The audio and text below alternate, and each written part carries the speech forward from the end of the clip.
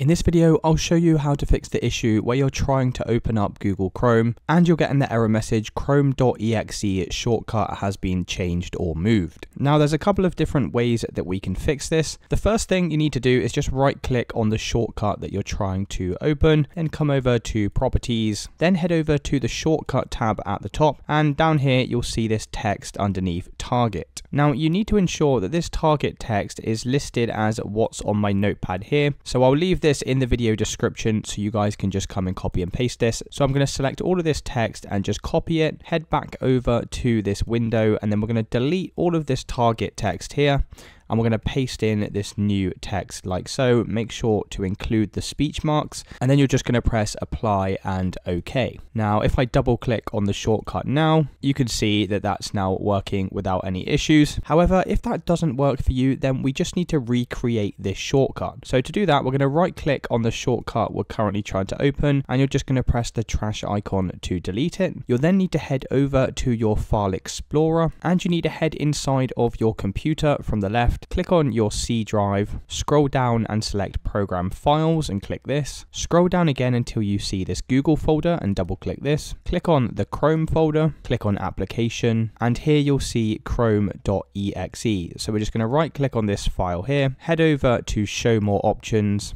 and then you need to come to send to and select desktop and this is going to create a new shortcut of this. So if I come back over to my desktop now you can see here's the shortcut that we just created. So if I just double click on this you can see that now works without any issues. Now if you've tried both of these steps and it's still not working the last thing we can do is head over to your start menu and search for settings. Click on the settings window and from the left hand side select apps. Click on installed apps and you'll need to locate Google Chrome in your list of apps applications, you can just scroll down and locate it from here, or we can use the search box and type in Google Chrome. Once you've found Google Chrome, just click on the three horizontal dots, click on uninstall, and then press uninstall to uninstall it. And once you've uninstalled Google Chrome, you'll then need to launch up another internet browser. It could be Firefox or Internet Explorer, whatever your secondary internet browser is on your PC. And you'll need to reinstall Google Chrome to your system, and that should have now fixed the shortcut issue. So it's as simple as that, guys. If you did find this video helpful, then please consider dropping a like and subscribing.